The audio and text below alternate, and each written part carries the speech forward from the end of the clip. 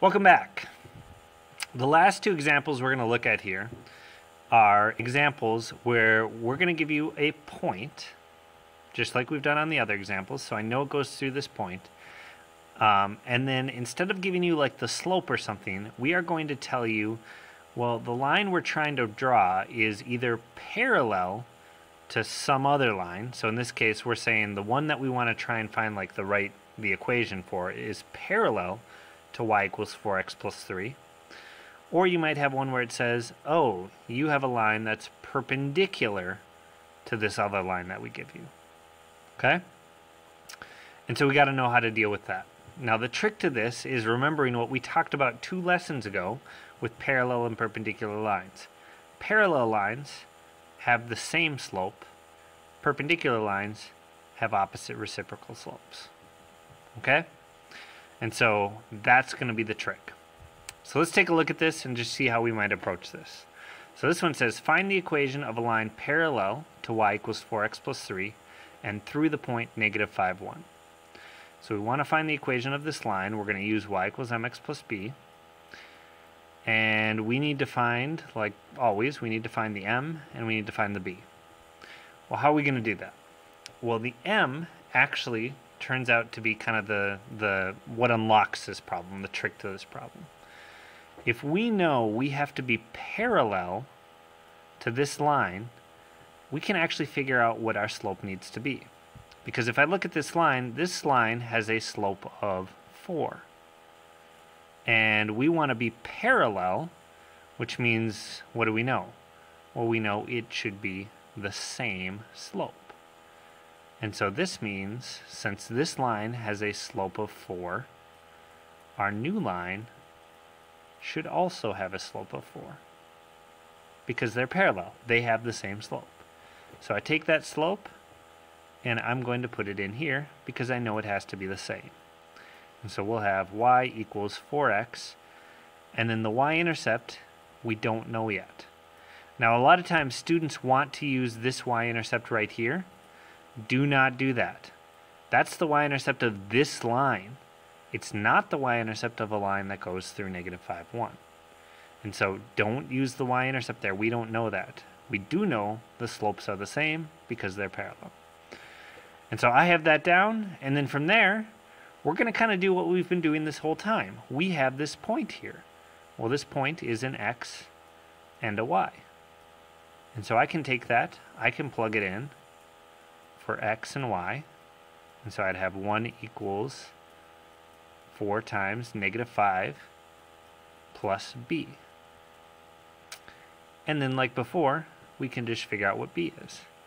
And so this would be 1 equals negative 20 plus b. And then I would add 20 to both sides to get b by itself. And so we'll get have b equals 21. Now, we have all the information we need. We know the slope is 4. We know the y-intercept is 21. Well, we can just put it into y equals mx plus b. And so our answer is going to be y equals 4x plus 21. Just like that. All right? And that's the process. Figure out what the slope is based off of this right here. We know it's parallel, so it has to be the same. So we keep that slope, put it in here, and then just use your slope as the x and the, or the point as the x and the y to find b. For our second one, we have a perpendicular one. And so what we need to remember with that is perpendicular lines have opposite reciprocal slopes. So this one, this equation right here, it has a slope of 5 thirds. Okay? Well, that's the slope of this line, but I'm making a line that's perpendicular to it. So the slope of the line that I'm making, we got to do the opposite reciprocal. In other words, this is a positive 5 thirds. So since it's positive, I'll make it negative. And then it's 5 over 3. I have to flip that upside down to make it 3 over 5. And so our new slope here that we're going to put into y equals mx plus b. That new slope is going to be negative 3 fifths. Basically, I just take the slope from here, I do the opposite reciprocal. So that's our new slope. We take it and we put it in our, equation. So we'll have y equals negative 3 fifths x. And then again, we don't know the y-intercept. Keep it as a plus b. Again, sometimes students want to use this y-intercept up here, but we don't want to use it. That is not the y-intercept of a line that goes through 10, 1. Okay? So we just take our slope from here, do the opposite reciprocal, put it in. And then, just like all the other ones, we have a point here. It's an x and a y. We're going to plug these in. And so we'll have 1 equals negative 3 fifths times 10 plus b. All right. We go ahead, we solve for b. That's 1 equals negative 3 fifths times 10. That's actually negative 6 plus b. Add 6 to both sides.